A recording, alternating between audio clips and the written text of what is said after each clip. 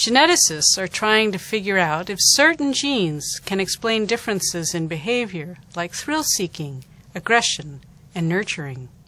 For every 100,000 people who enjoy hiking in the mountains, for example, only one or two feel the need to climb to the top of Mount Everest.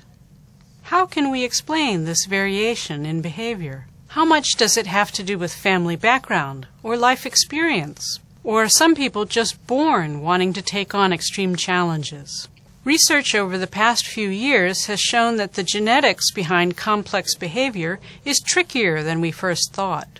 Differences in behavior aren't the result of one, two, or even a handful of genes. Consider the most famous of lab insects, the lowly fruit fly, known to scientists as Drosophila melanogaster. These fruit flies naturally fight over food, like who gets access to a tasty piece of rotten banana.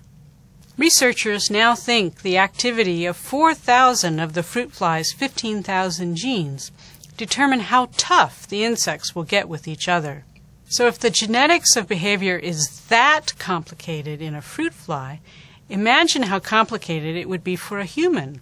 After all, the brain of a fruit fly contains around 100,000 neurons, while the brain of a human contains 100 billion neurons, or a million times as many neurons as a fruit fly.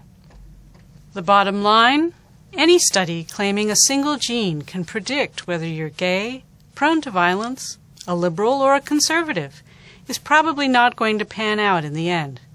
Nor are we likely to ever find a gene for extreme mountain climbing. For Scientific American's Instant Egghead, I'm Christine Gorman.